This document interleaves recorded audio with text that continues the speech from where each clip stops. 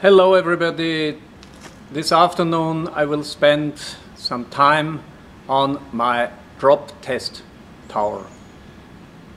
I will do some dynamic tests with semi-static ropes.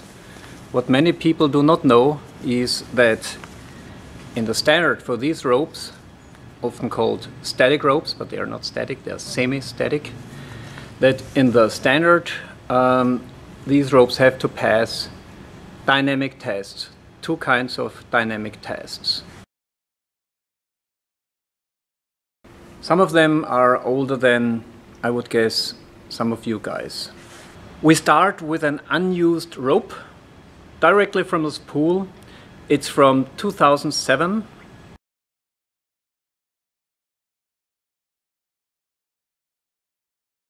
The manual says destroy it.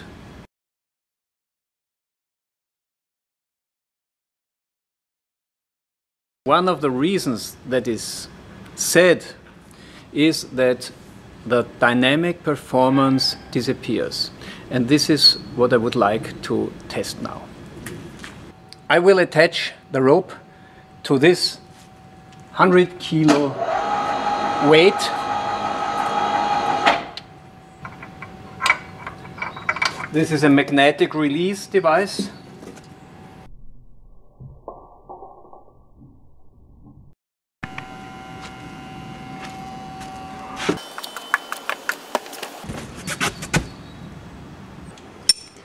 The other side is attached to the scale.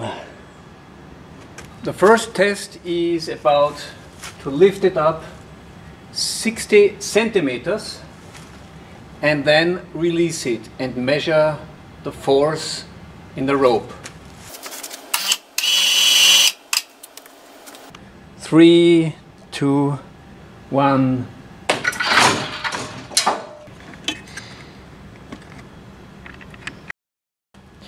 And now comes the drop test. 2 meters factor 1. 3, 2, 1. This is a very hard test. A brand new rope has to pass 5 of these falls.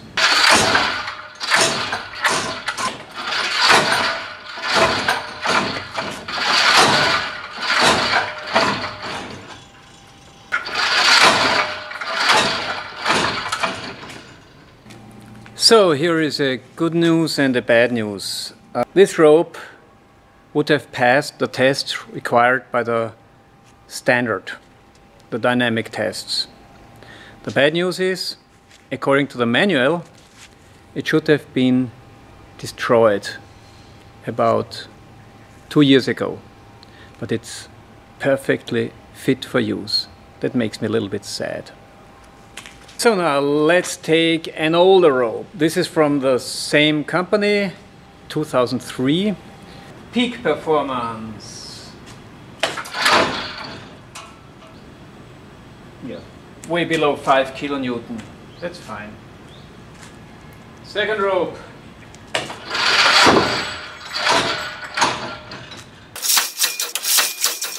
Also this rope passed both tests. Unfortunately, I do not have unused older ropes, but let's take this one. This, how old it is, I don't know. It has no marking inside the core, so I'm pretty sure that it was produced before the norm. Um, I installed it 20 years ago as a ascending rope in the ropes course it served 20 years for climbing up, rappelling down, and it hung in the sun day every day. It's really difficult to make a knot in the rope. It's so stiff. So let's see how it performs the peak test. So the first drop is only to tighten the knots. This, this number counts 3.6 kilonewton. The knots swallowed all the energy. That's why I will do the test now a second time. So the peak was 4 kilonewton and now we'll see if it passes the drop test.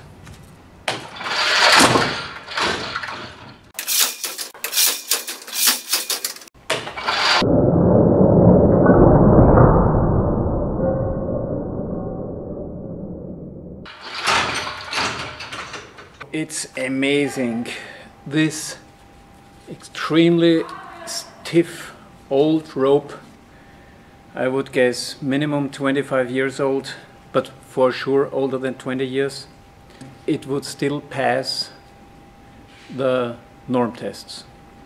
How about if we take out this sentence from the manuals? I do not know any reason to have a lifespan counted by years.